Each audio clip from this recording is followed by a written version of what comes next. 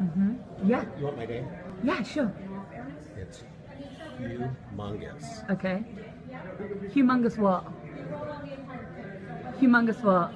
Humongous. Humongous what?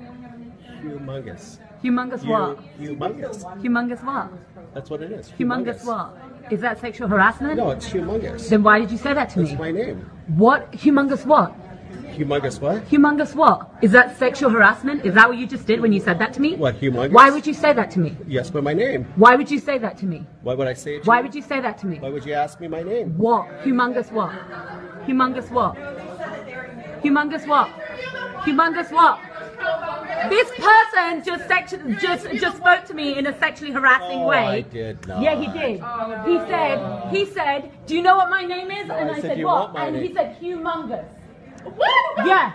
And I I said, said, "What?" And he said, "Humongous." Yeah. Yeah. This person just sexually harassed me. I said I'm humongous. Yes. Yeah, that's right. Humongous what? humongous. Humo- oh, oh, oh, so now you're so now you're actually pointing to yourself. I'm You're actually pointing to your body parts. And you're actually pointing to your body parts and saying that you're humongous. You're actually doing that. And this is the person who just got interviewed as a pro bunker person of color, as if you as if you represent us.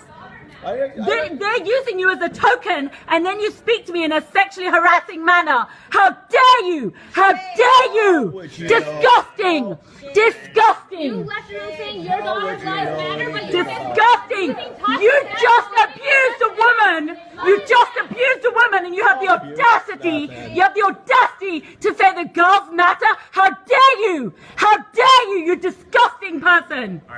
Disgusting!